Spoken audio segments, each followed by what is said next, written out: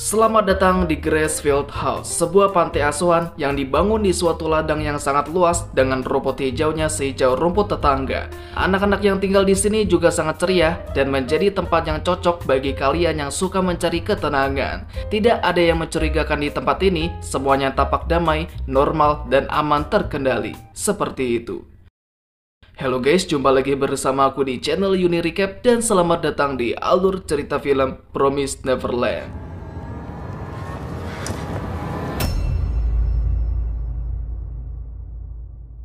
Film yang dirilis tahun 2020 ini merupakan versi live action dari anime dengan judul yang sama, Yakusoku no Neverland. Menceritakan tentang tiga orang anak yang berencana untuk pergi dari panti asuhan setelah mereka menemukan rahasia yang sangat mengejutkan di dalam tempat tersebut. Lantas, apa yang sudah terjadi di dalam tempat yang seharusnya ramah untuk anak-anak ini? Daripada bikin penasaran, langsung saja kita masuk ke ceritanya guys.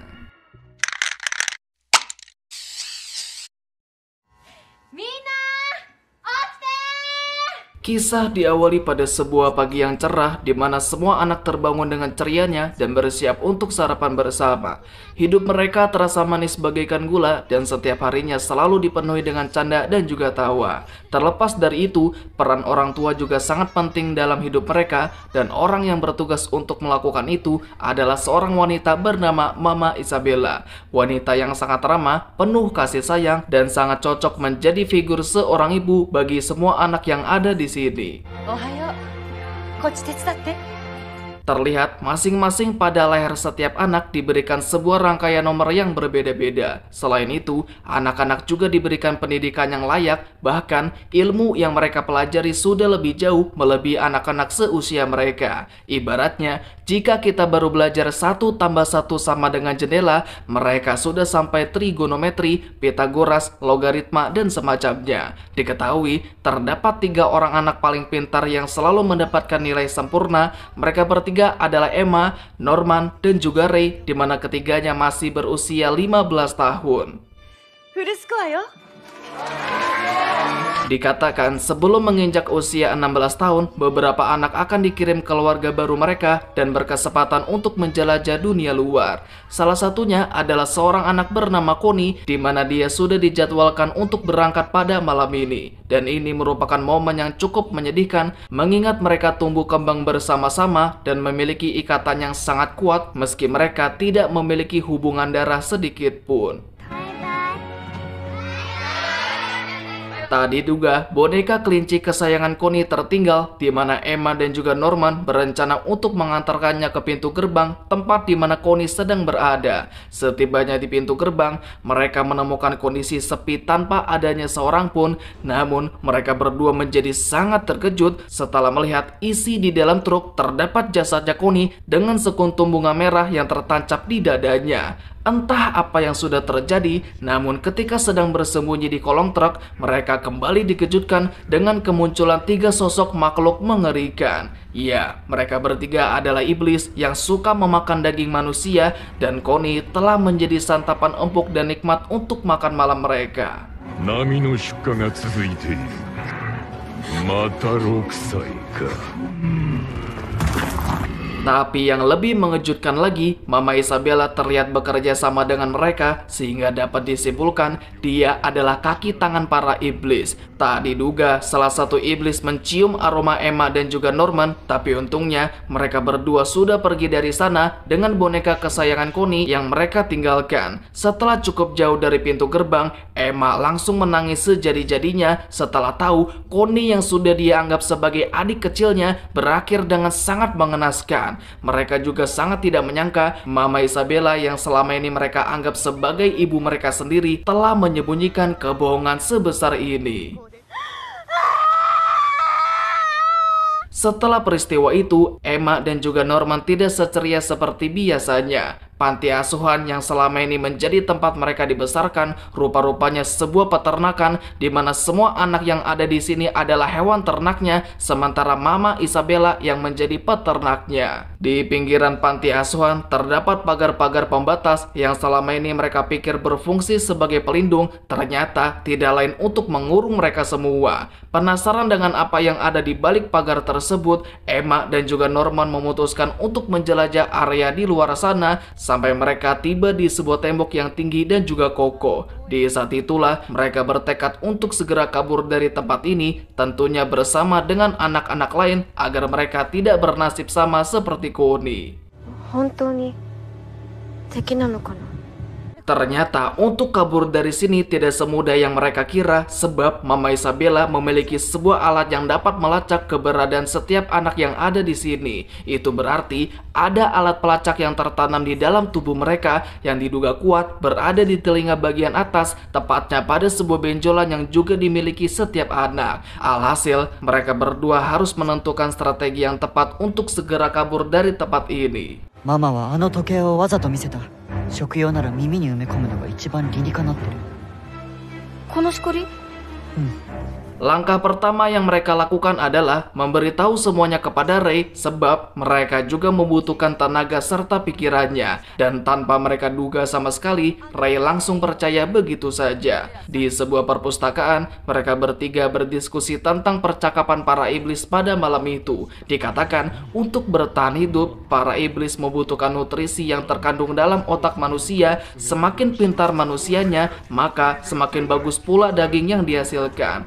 Itulah mengapa anak-anak yang ada di sini sengaja diberikan pelajaran yang cukup sulit yang berguna untuk mengembangkan otak mereka semua. Itu berarti sebagai tiga anak terpintar, Emma, Norman, dan juga Ray merupakan daging kualitas tinggi yang sudah siap untuk dipanen. 6歳以降スコアの低い順に収穫されて Kemudian, mereka menemukan sedikit petunjuk di beberapa buku yang ditulis oleh seseorang bernama Minerva. Masing-masing dari setiap buku memiliki gambar burung hantu dengan perbedaan di setiap lingkarannya, yang mana itu merupakan sebuah kode Morse. Setelah diartikan, kode-kode ini merujuk kepada beberapa kata yang setelah dirangkai akan menjadi sebuah petunjuk. Ini semua tidak lain merupakan petunjuk yang ditinggalkan oleh Minerva sendiri yang yang dengan kata lain mereka masih memiliki rekan manusia di luar sana. Namun, masalah justru bertambah lagi ketika panti asuhan mereka kedatangan seseorang bernama Sister Krone, satu orang lagi selain Mama Isabella yang akan menjadi hambatan terbesar mereka untuk melarikan diri.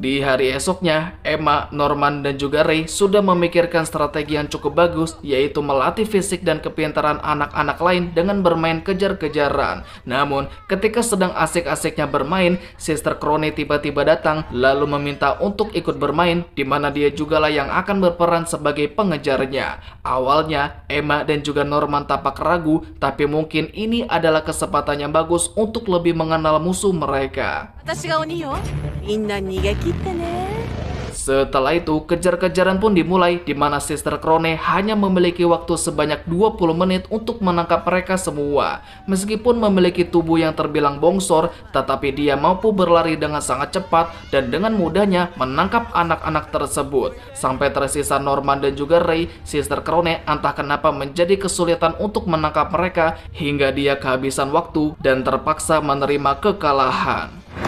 20 menit 俺たちの勝ちだね。Setelah kejar-kejaran itu, baik Mama Isabella ataupun Sister Krone sama sekali tidak melakukan apa-apa dan ini adalah sesuatu yang cukup mengherankan. Norman menduga mungkin selain Mama Isabella dan juga Sister Krone, kemungkinan besar ada satu orang anak yang ditugaskan untuk menjadi mata-matanya Mama Isabella. Dengan kata lain, ada seorang pengkhianat di antara anak-anak dan kemungkinan anak-anak yang lebih tua lah yang menjadi mata-matanya. Meskipun terdengar mustahil, tapi Norman memiliki memiliki rencana untuk membuktikan hal tersebut. Pertama-tama, dia akan membocorkan rahasia panti asuhan kepada dua anak yang diduga kuat sebagai mata-matanya. Mereka berdua adalah Don dan juga Gilda, di mana keduanya sama-sama berusia 15 tahun. Awalnya, mereka berdua tidak percaya dengan apa yang dikatakan Norman, tapi setelah mendengar kesaksian Emma dengan apa yang terjadi kepada Connie, mereka langsung mempercayainya.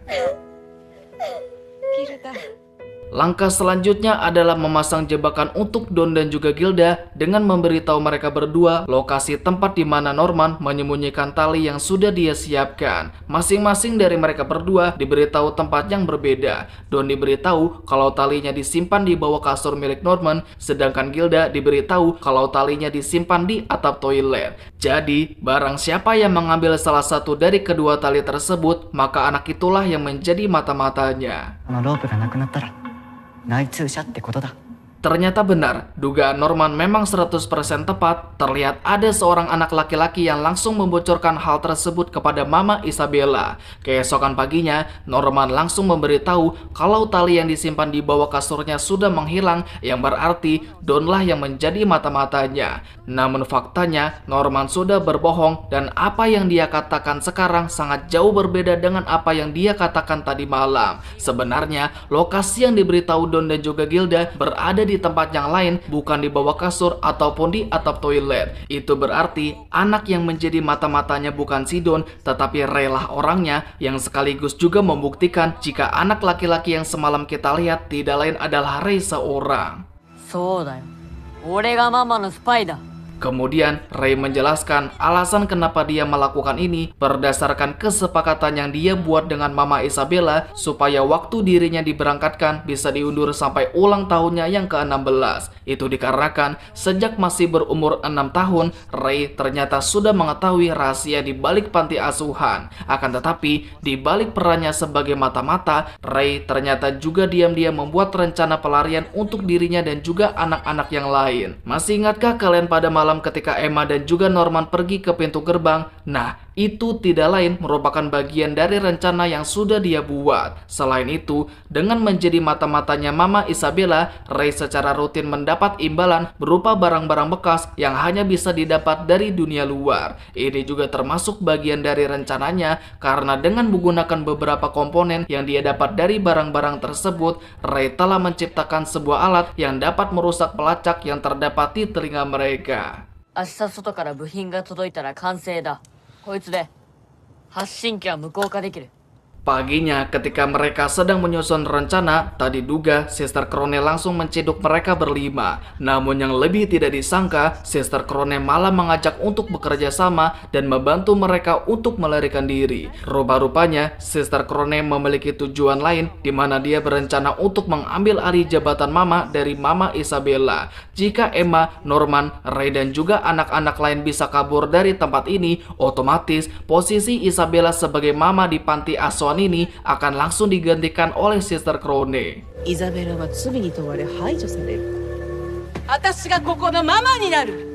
Lantas, kenapa dia tidak ikut kabur saja bersama dengan mereka? Jawabannya, karena di dalam tubuhnya Sister Krone ditanamkan sebuah chip yang mana jika selangkah saja meninggalkan area panti asuhan, maka chip tersebut akan langsung menyetrum jantungnya sampai berhenti. Terlihat, dia juga memiliki serangkaian nomor yang sama yang juga dimiliki setiap anak, sehingga terungkap Sister Krone dan juga Mama Isabella dulunya juga merupakan anak-anak yang dibesarkan di panti asuhan. Dia berpikir berpikir jika dia berhasil naik jabatan sebagai mama, dia bisa hidup tenang di dalam panti asuhan ini. Irasai.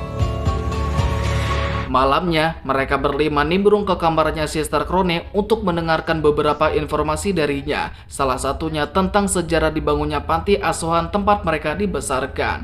Pada zaman dahulu, terjadi peperangan antara manusia melawan para iblis di mana kedua belah pihak sama-sama mengalami kerugian yang sangat besar. Sampai suatu hari, manusia dan iblis yang kelelahan dengan peperangan kemudian memutuskan untuk saling membuat sebuah janji. Mereka membagi dunia tempat mereka masing-masing masing-masing hidup di mana iblis tidak akan memburu manusia dan manusia tidak akan membunuh iblis. Lalu manusia membangun sejumlah panti asuhan atau lebih tepatnya peternakan dengan tujuan membesarkan anak-anak di dalamnya kemudian dipanen untuk dijadikan makanan para iblis.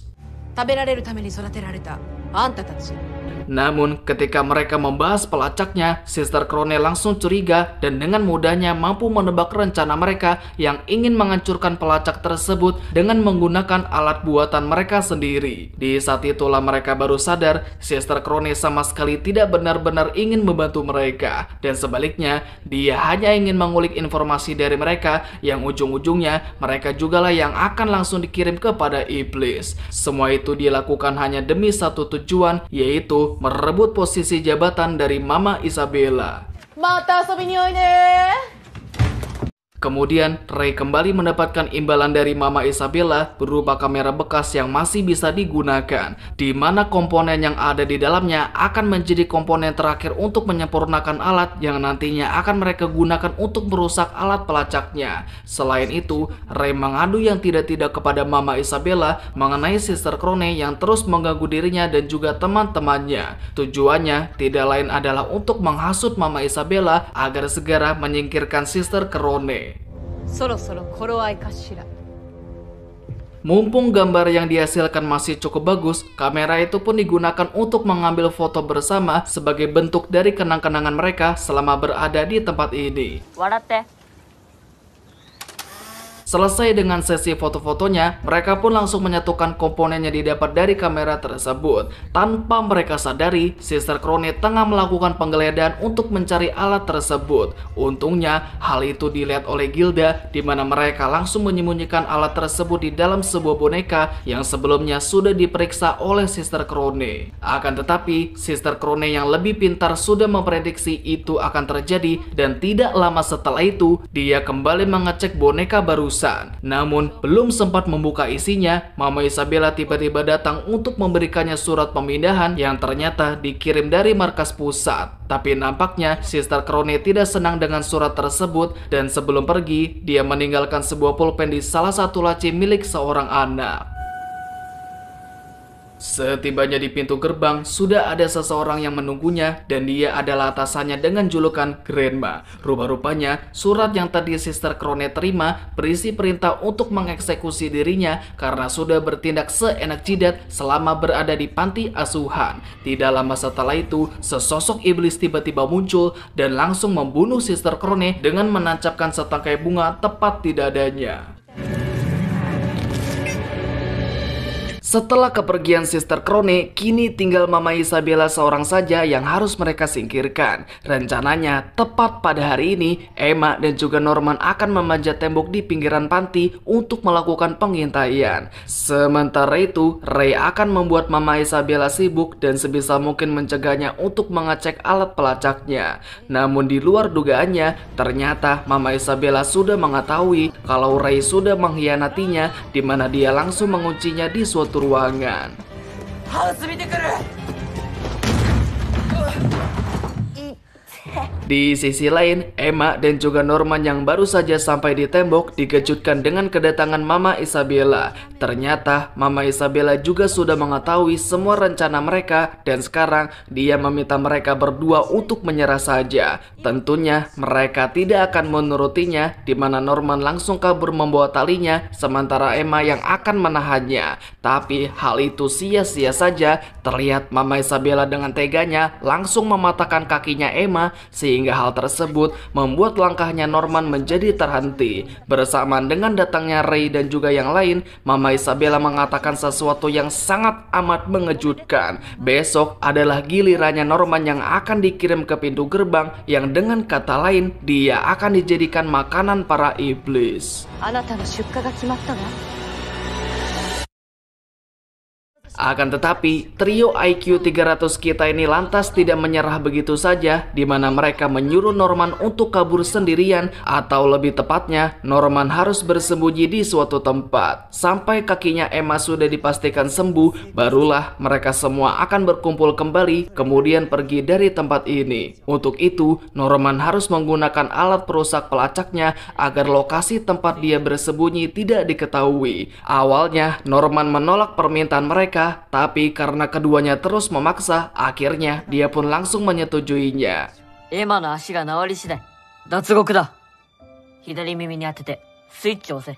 Ketika mau tidur, di lacinya, Norman menemukan pulpen yang ditinggalkan oleh Sister Crone. Masih belum jelas apa maksud dari tindakannya Sister Crone yang satu ini, tapi mungkin itu akan terungkap nanti. Nanda kore?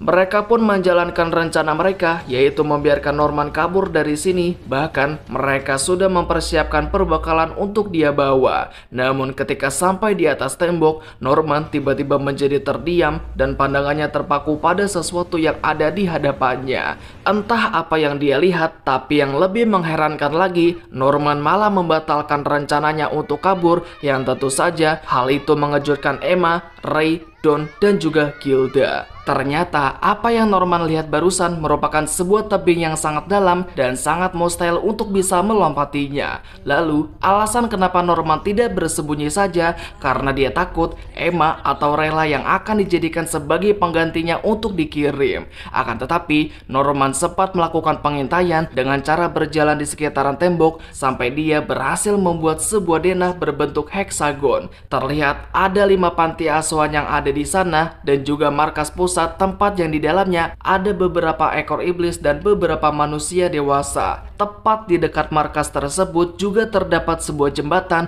yang mungkin bisa mereka gunakan untuk melarikan diri.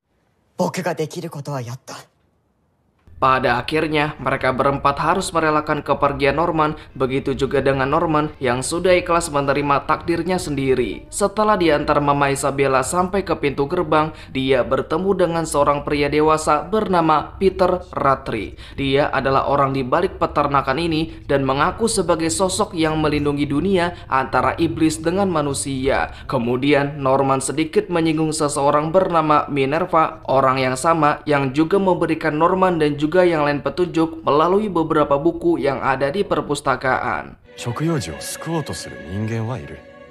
Rupa-rupanya Peter mengetahui nama itu dan dia menambahkan ada sekelompok orang yang sama seperti Minerva yang juga ingin menyelamatkan anak-anak yang ada di panti asuhan. Akan tetapi Peter mengatakan kalau orang-orang seperti itu sudah dilenyapkan dengan dalih untuk menjaga perdamaian antara iblis dengan manusia. Setelah mendengar itu, Norman masih berharap dan tetap percaya suatu hari nanti dunia akan berubah menjadi lebih baik lagi baik untuk umat manusia manusia maupun untuk bangsa iblis.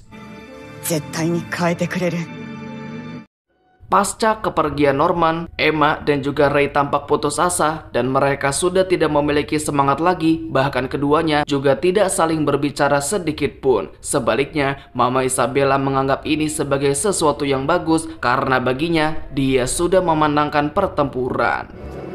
Checkmate.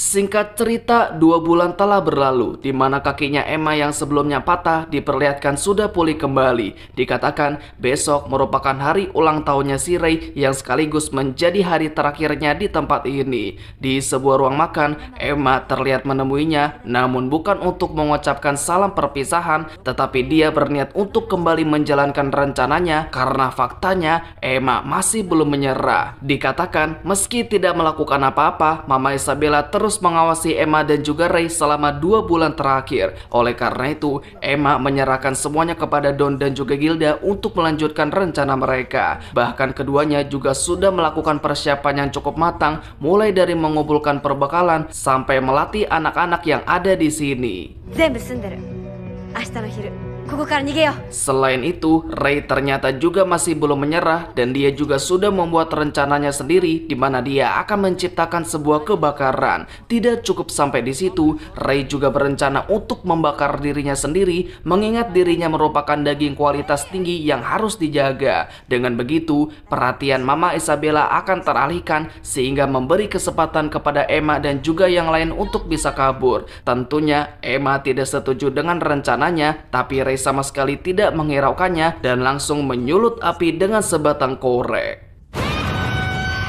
Dengan cepat, kobaran api membakar ruangan tersebut dibarengi dengan teriakan Emma yang hanya bisa melihat Ray yang sedang terbakar hidup-hidup. Bersamaan dengan anak-anak yang sedang melakukan evakuasi, Mama Isabella mencoba untuk menyelamatkan Ray dengan memadamkan kobaran api yang semakin membesar. Di saat itulah, Mama Isabella baru menyadari kalau dia sudah tertipu sebab apa yang sebenarnya sedang terjadi merupakan skenario yang sudah dibuat oleh Emma sendiri. Faktanya, yang terbakar di dalam kobaran api tersebut bukanlah si Ray, tetapi hanya alat pelacaknya saja yang sudah dilepas dari dalam telinganya. Masih ingatkah kalian dengan pulpen yang ditinggalkan oleh Sister Krone? Ternyata itu bukan sebuah pulpen, melainkan wadah yang berisi sebilah pisau bedah. Emma menggunakan pisau itu untuk mengeluarkan pelacak yang ada di telinga mereka berdua, lalu dijadikan sebagai umpan untuk menjebak Mama Isabella. 気づいてたんだよノーマンは setelah itu dijelaskan, ini semua adalah bagian dari rencana yang ternyata sudah dibuat oleh Norman sendiri. Sebelum dia diberangkatkan pada malam itu, Norman meninggalkan secari kertas yang berisi semua rencananya dan juga wadah yang berisi pisau bedah tersebut. Tanpa sepengetahuan dari si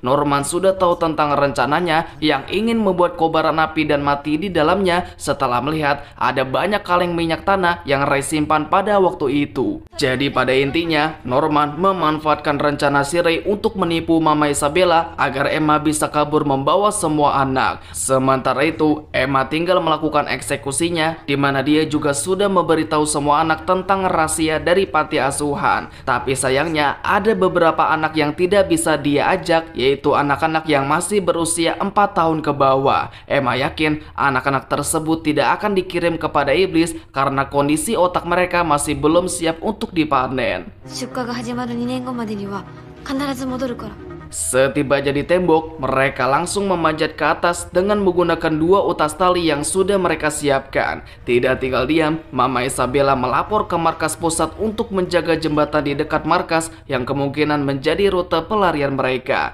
Namun, tanpa Mama Isabella sadari, Norman ternyata sudah memprediksi itu akan terjadi dan dia juga sudah menentukan rute pelarian yang tepat. Hasil dari pengintaian yang dia lakukan, Norman menemukan sebuah tebing yang jaraknya cukup dekat dengan tembok yang bisa mereka gunakan untuk membuat zip line. Setelah percobaan pertama berhasil, mereka pun membuat satu zip line lagi untuk mempercepat pergerakan mereka dan setelahnya mereka tinggal menyeberang secara bergantian. Ray yang dari awal sama sekali tidak diberitahu mengenai rencana ini dibuat menjadi sangat terkejut dengan keberanian para anak yang mampu menyeberangi tebing yang ada di bawah mereka.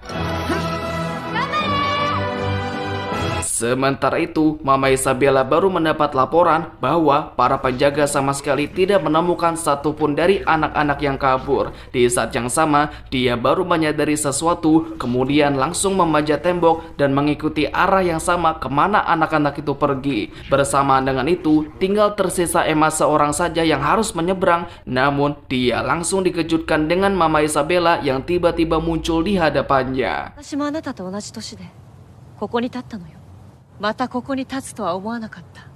Di saat itulah Mama Isabella menceritakan kejadian sewaktu dia masih berumur 15 tahun yang pada waktu itu dia juga berusaha untuk kabur dari panti asuhan. Akan tetapi dia memutuskan untuk menyerah setelah melihat tebing yang sangat dalam dan gelapnya hutan yang ada di seberang sana. Seketika dia berpikir kabur dari sini adalah suatu hal yang sia-sia saja dan dunia tempat dia berada tidak akan pernah bisa berubah sedikit pun. Inilah yang menjadi alasan kenapa kenapa dia mengincar jabatan mama dan lebih memilih untuk hidup tenang di panti asuhan. Namun, berbeda dengan mama Isabella yang waktu itu hanya seorang diri, Emma berhasil membawa banyak anak bersama dengannya. Meskipun dunia ini tidak akan pernah bisa diubah, mereka tinggal menciptakan dunia baru yang bisa menjadi tempat di mana mereka dapat hidup dengan tenang. みんなと一緒に外の世界に行く Setelah itu, Emma berniat untuk menyeberang saat itu juga, tetapi Mama Isabella langsung mengancam akan memotong talinya jika dia tidak menurut. Meski demikian, Emma tetap melakukannya karena dia tahu Mama Isabella tidak akan membunuh anak yang sudah dia besarkan seorang diri. Dan benar saja, Mama Isabella sama sekali tidak memotong talinya sampai Emma berhasil sampai ke seberang dengan keadaan selamat. Tidak hanya itu, Mama Isabella juga bahkan tersenyum sesaat anak-anak itu pergi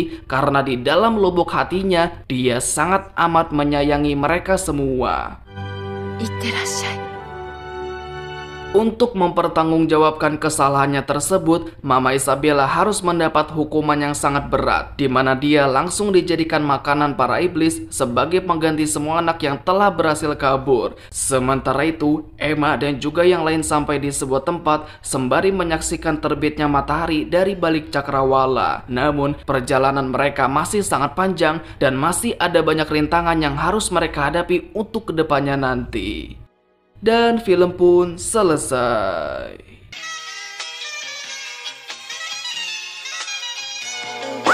Oke gan, itulah alur cerita dari film The Promised Neverland. Semoga kalian terhibur ya. Oke, segitu saja untuk pembahasan kali ini. Jangan lupa untuk like, comment, share, dan subscribe-nya agar saya bisa semangat dalam membuat video selanjutnya. Terakhir, saya ucapkan terima kasih dan sampai jumpa di video selanjutnya. Bye bye bye. さよならの終わりのラブストーリー過去には戻れないから冷たいまま on time.